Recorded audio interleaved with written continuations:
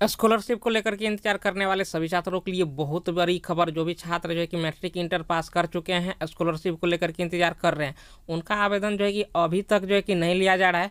Top twenty percentile जो भी छात्र जो है कि शामिल हुए थे लिस्ट में तो उनका आवेदन लिया गया। रेस्ट जो छात्र बचे, उनका आवेदन नहीं लिया जा रहा है।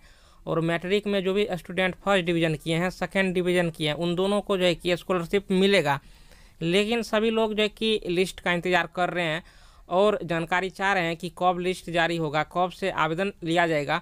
तो इन तमाम बातों पर हम चर्चा करेंगे। उससे पहले जो मेघा लिस्ट को लेकर के जानकारी आई है, बिहार विद्यालय परीक्षा समिति के द्वारा आज पुरस्कृत किया जाना था, लेकिन क्या कारण है कि स्थगित कर दिया गया है? उनका कारण दिया गया है।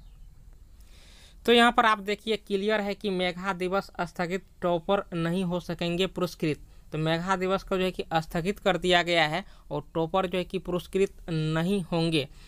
तो यहाँ पर क्लियर है कि बिहार बोर्ड ने मैट्रिक और इंटर वार्षिक परीक्षा 2020 के मेघावी छात्रों को सम्मानित करने को आयोजित होने वाले मेघा दिवस को स्थगित कर दिया है।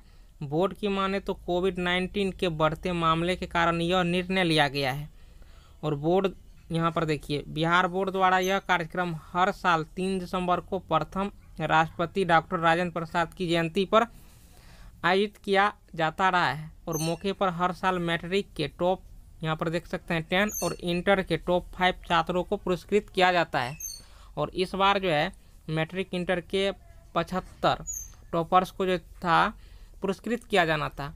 लेकिन सारे छात्रों को इसकी सूचना भी दे दी गई थी, लेकिन कोरोना संक्रमण के बढ़ने के कारण यह स्थगित किया गया है। बोर्ड ने इसकी जानकारी संबंधित ज़िले के डीओ और छात्र। यहाँ पर देख सकते हैं कि डीओ छात्र और उनके अभिभावक को दे दिया है। पुरस्कार के तौर पर प्रथम टॉपर को एक लाख रुपये की पुरस्कार राशि दी जाती है। इसके अलावा सभी मेघावी छात्र को लैपटॉप दिया जाता है।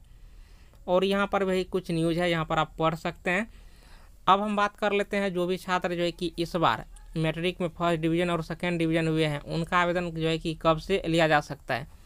तो देखिए यहाँ पर जो पहले न्यूज़ था कि जो भी छात्र टॉपर्स हुए हैं, उनको पुरस्कृत करने के बाद जो है कि लिस्ट जारी की जाएगी। लेकिन देखिए, इसको भी स्थगित कर दिया गया है। तो अब देखिए लिस्ट कब जारी होता है? इसको लेकर के अभी फ़िलहाल जो है कि कुछ सूचना नहीं दी गई, लेकिन ऐसी जानकारी पहले दी गई थी कि टॉपर्स को पुरस्कृत करने के बाद ही जो है कि ई कल्याण पर जो है कि लिस्ट जारी किया जाएगा। तो जैसे ही ई कल्याण पर जो है कि लिस्ट जारी होगा तो जो भी छात्र मैट्रिक में फ़र्स्ट डिवीज़न किए हैं सेकेंड डिवीज़न किए हैं, उनका जो है कि स्कॉलरशिप के लिए आवेदन लिया जाएगा।